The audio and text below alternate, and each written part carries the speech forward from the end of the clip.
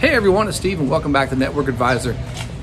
If you're a small business owner, or you're maybe that person in your organization that's responsible for the IT infrastructure, but you're not a technical person, I'm going to be setting up and demonstrating a new wireless access point from Zyxel Networks, which is designed to be affordable, simple to set up, and simple to maintain. And I think for people who manage small businesses, office managers, operational staff that are not IT people, being able to have something like that that's easy for them to get going and you know if for some reason it comes offline or if it needs to be moved or password reset or whatever that's kind of the advantage that this particular uh, product has. So anyway let's go take a look at that and see what you think So the NWA 50AX is the smaller unit there on the right. I'm comparing it against the 110, which I've done in some previous reviews. Now let's do a quick unbox. And we've got our warranty paperwork. There's the unit itself. And it has a 100, I mean, uh, sorry, a gigabit Ethernet uplink and also a uh, power connector for 12 volts. And there's like a little diagram there to show you how to connect it to your network and your router. And there's the wall mount or ceiling mount bracket if you want to use that. The power supply with the North American adapter. All right, the installation is supposed to be fairly straightforward and simple because of the fact that they're targeting small business and, and small office home users. And if you look in the box, it's got a picture of hooking up the power and hooking up the network cord to the router. And it's also got these little QR code, which you're supposed to be able to scan with your phone, and then it will take you to the installation manual. All right, so physically what that looks like should be fairly self-obvious, but just in case.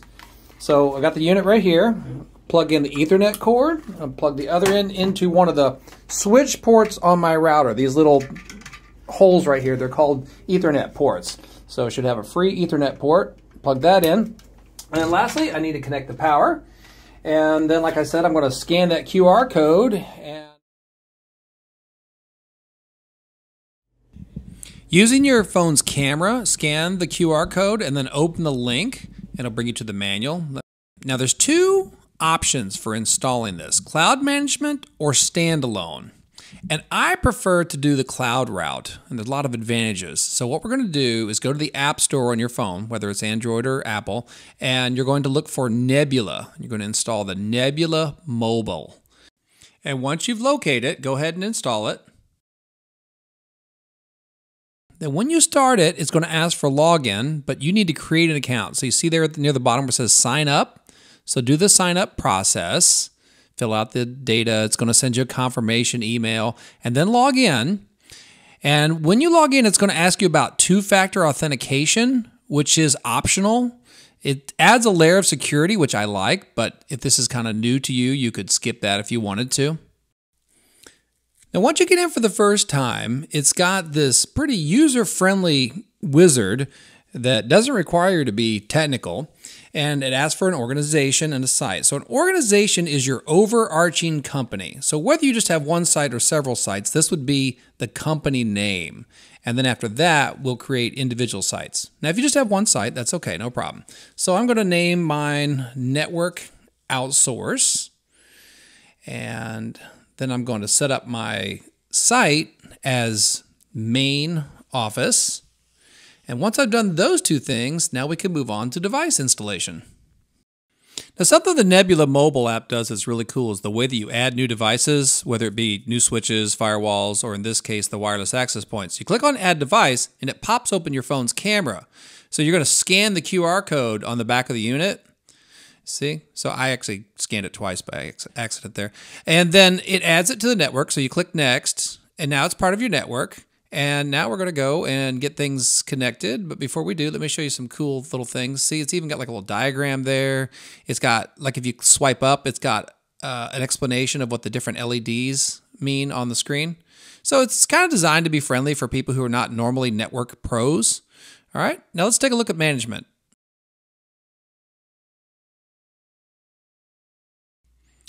So you can use the smartphone app as your way of doing daily management or monitoring. And the dashboard gives you some broad strokes about what's going on with network devices, with clients, the data that's being used, and by whom. You see those little icons there in the bottom. If I click on the one that's the second from the right, it's a looks like a cell phone icon. You can see the individual clients, and they natively start with your MAC address, but you can rename those like I did here. I renamed MacBook Pro and SO iPhone. And do you see how the iPhone shows as like a dark Wi-Fi signal? So that's telling me that device is offline. So it might be something I need to investigate.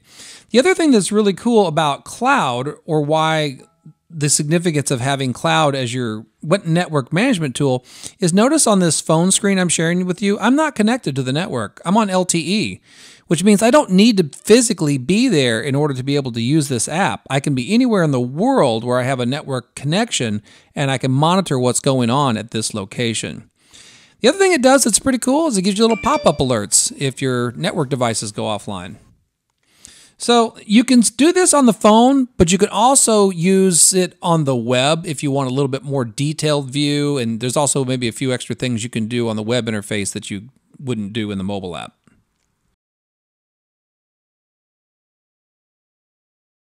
All right, so if we were going to ask the question, how does this compare against popular competition? Well, there on the left is Ubiquiti U6 Lite, which is pretty popular right now. You can see they're about the same size. Then when we flip them over, we can see the ports on the bottom. Now the Ubiquiti U6 Lite has one Ethernet port and no external power port. The Zyxel has one Ethernet port and an external power point. So what that means to you is that this relies on power over Ethernet. This one has the capacity to use either an external power supply or power over Ethernet. And they're both the same speed in terms of the uplink, meaning that's a 1 gig uplink, that's a 1 gig uplink. This also has a console port, which most people won't use.